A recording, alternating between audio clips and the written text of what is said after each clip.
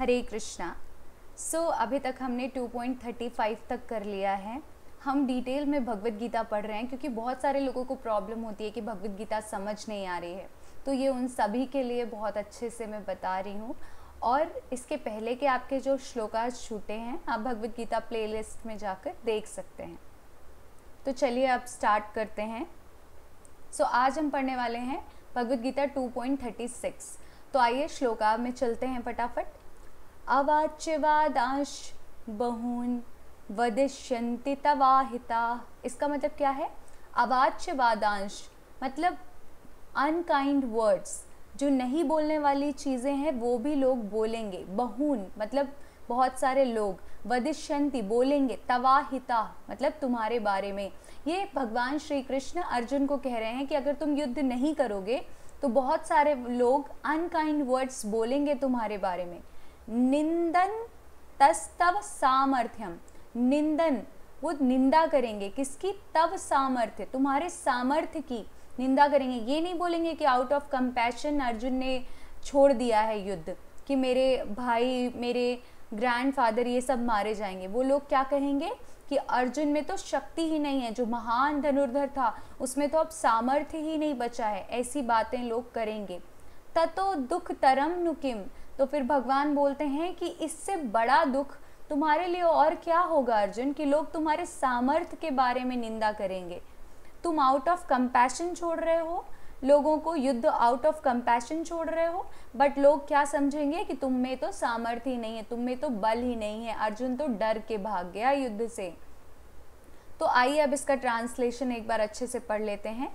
Your enemies will describe you in many unkind words तो भगवान क्या बोल रहे हैं कि तुम्हारे जो एनिमीज हैं, दुश्मन है, वो तुम्हें डिस्क्राइब करेंगे बहुत सारे अनकाइंड वर्ड्स के साथ, जो तुम्हारे लिए नहीं बोलना चाहिए। एंड डिस्कॉन योर एबिलिटी और तुम्हारी एबिलिटी की निंदा करेंगे और तुम्हारी एबिलिटी में शक करेंगे कि तुम में सामर्थ्य नहीं है। What could be more painful for you so इससे ज़्यादा पेनफुल और क्या होगा तुम्हारे लिए? तो आगे परपट में देखते हैं, प्रभुपाद बताते हैं, lord Krishna was astonished in the beginning at Arjuna's uncalled for plea for compassion तो बोलते हैं कि जो लॉर्ड कृष्णा हैं, वो एस्टोनिस्ट थे। वो बहुत सरप्राइज़ हो गए थे। ये देख के शॉक हो गए थे ये देख के कि अर्जुन क्यों आखिर uncalled like for plea for compassion क्यों उसके अंदर ऐसा कंपैशन क्यों जागृत हो रहा है अर्जुन के अंदर?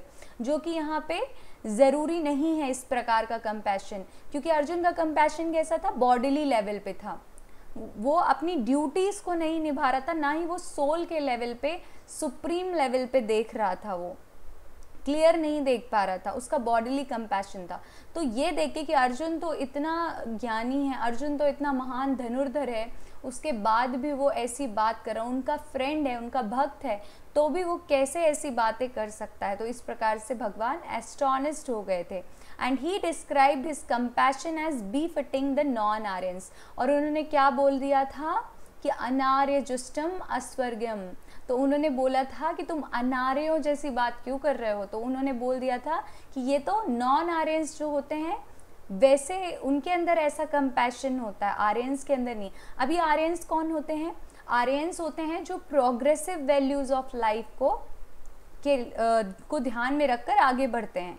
मतलब वो देखते हैं कि अल्टीमेट गोल जो है उनका स्पिरिचुअल रियलाइजेशन वो कैसे प्राप्त होगा? तो जब भी हम बॉडी में रहते हैं तो हमें बॉडी की जो ड्यूटीज़ होती है उसको भगवान को सरेंडर करते हुए बिना आ, उसका लाभ या हानि सोचे हुए हमें उस बॉडी की ड्यूटी को परफॉर्म करना होता है। और ऐसे धीरे धीरे ड्यूटीज़ को परफॉर्म करते करते हमारी बुद्धि शुद्ध होती है हम बॉडली कंसेप्शन ऑफ़ लाइफ से निकलते हैं एंड देन हम स्पिरिचुअलिटी में आगे बढ़ पाते हैं। तो ये आर्यंस करते हैं। आर्यंस जो होते हैं, वो सोच समझ के निर्णय लेते हैं कि अल्टीमेटली क्या अच्छा है। लेकिन जो नॉन आर्यंस होते हैं, वो बिल्कुल नहीं सोचते, समझते। जैसे अभी आजकल की जनरेशन हो गई है। जो भी मन में आया अच्छा लगा, मेरी मर्ज़ी, बस वो चीज़ कर लेना है। But that is not Aryans behaviour हमें, हमारे लिए क्या अल्टीमेटली अच्छा है, उसको सोच कर करते हैं जो दैट इज़ आर्यंस बिहेवियर तो अर्जुन आर्यन है, अर्जुन आर्य है, अनार्य नहीं है। तो इसलिए भगवान शौक हो गए थे देख के। Now in so many words he has proved his statement against Arjuna so called compassion तो बहुत सारे वर्ड्स के साथ, बहुत सारे श्लोकास जो अभी हमने देखे हैं, भगवान ने प्रूव कर दिया है कि जो अर्जुन है, अर्जुन का कंपैशन क्या है? सो so कॉल्ड है। वो रियल नहीं है। वो मतलब ऐसा नहीं है कि उसको कुछ श्रेयस देने वाला अल्टीमेट गोल देने वाला है। वो बीफिटिंग नहीं है आर्यंस के लिए। तो इस प्रकार से अर्जुन को बहुत तरीके से भगवान ने बताया भी था कि जो सोल है, तुम बॉडी को बॉडी को मार रहे हो सोल को नहीं, और तुम अपनी ड्यूटीज़ के लिए मार रहे हो, है ना? तो तुम बॉडी को मार रहे हो सोल को नहीं। सोल तो एटर्नल है, उसको तो कभी कोई ख़त्म ही नहीं किया जा सकता, किसी भी प्रकार से। तो इस प्रकार से बहुत अलग अलग चीज़ें अर्जुन को बता रहे हैं भगवान। कर्म योग बताते हैं, देन ध्यान योग, ज्ञान योग, भक्ति योग, इस प्रकार से भगवान अर्जुन को समझा रहे हैं। और ये प्रूफ करते हैं कि जो उसका सो कॉल कंपैशन है, वो सही नहीं है। तो आगे देखते हैं हम भगवद गीता 2.37 तो आइए इसको पढ़ते हैं। हतो वा प्राप्स्य सी स्वर्ग, जित्वा वा भोक्ष से महीम। तो क्या बोलते हैं कि हतो अगर तुम मारे जाते हो तो तुम्हें स्वर्ग की प्राप्ति होती है। अगर तुम बैटल फ़ील्ड में, अगर तुम युद्ध में मारे जाते हो तो तुम्हें स्वर्ग की प्राप्ति होगी। क्यों? क्योंकि तुमने अपना कर्तव्य किया है है ना? तुमने धर्म के विरुद्ध युद्ध किया है। तुमने सॉरी अधर्म के विरुद्ध युद्ध युद्ध किया धर्म के लिए युद्ध किया है। तो तुम्हें स्वर्ग की प्राप्ति होगी अपनी ड्यूटी परफॉर्म करने पे। और जितवा व भोक्ष से महीम। और अगर तुम जीत जाते हो तो तुम्हें इतना बड़ा किंगडम मिलेगा। भोगने के लिए, राज करने के लिए। तो दोनों ही तरह में तुम्हारा क्या है? फ़ायदा है, नुकसान नहीं है। तस्माद उत्तिष्ठ कौनतेय, इसीलिए उठ जाओ।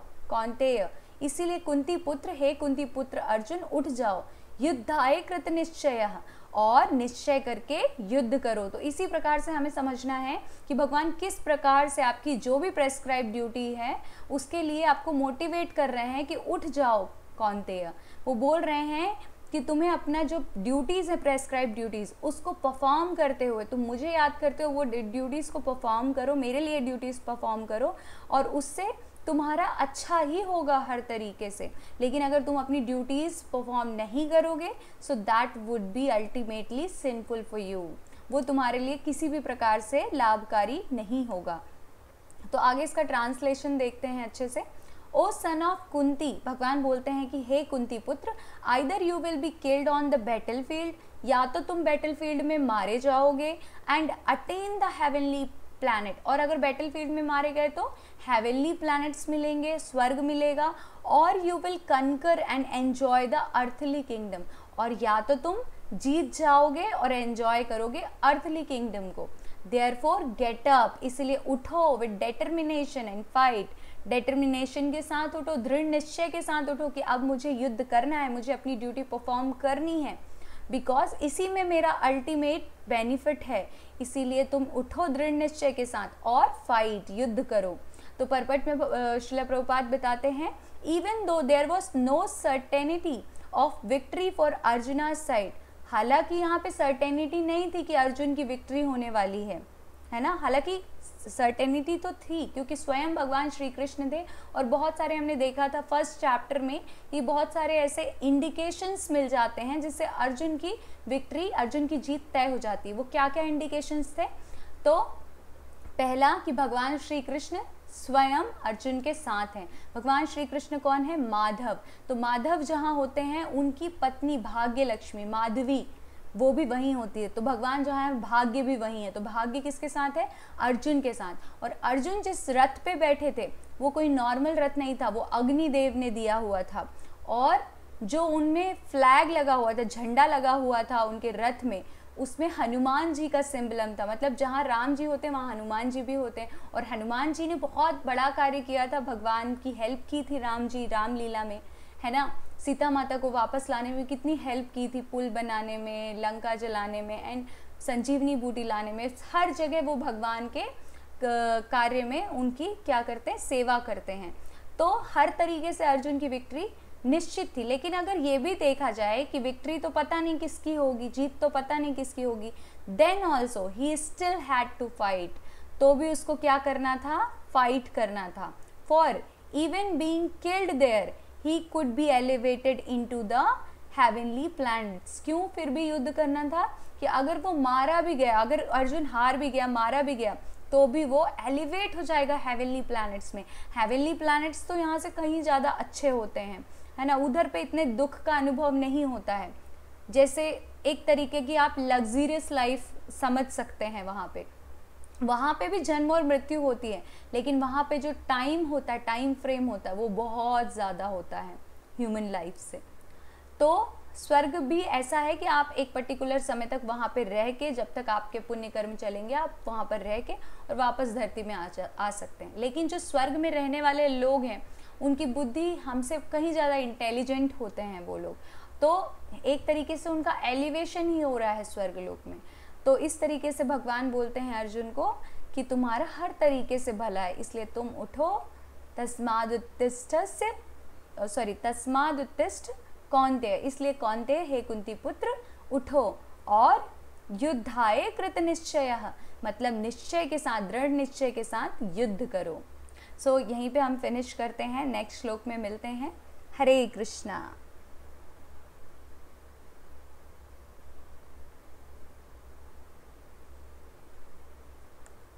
अगर आपके जो भी कमेंट्स वगैरह हैं, आप पूछ सकते हैं कमेंट बॉक्स पे। अगर आपके डाउट्स हैं, कुछ सजेशन हैं तो प्लीज़ बताइए। हरे कृष्णा।